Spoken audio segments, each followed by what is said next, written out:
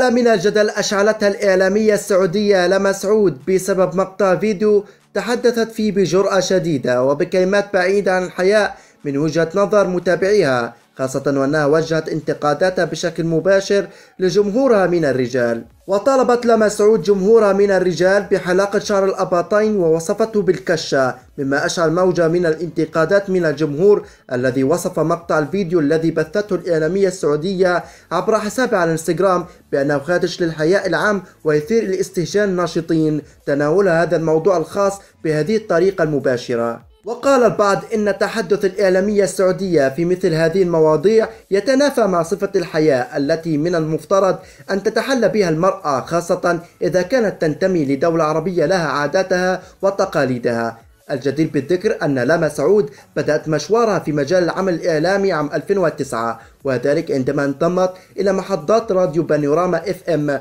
وقدمت بعض البرامج الغنائية بالبداية ثم قدمت بعض برامج المنوعات كما قدمت كواليس جلسات وناسة على قناة إم بي سي عام 2013 آه عزيزي الرجل آه كونك رجل لا يتنافى ولا يعني يتعارض مع أنك تكون آه شخص نظيف OK؟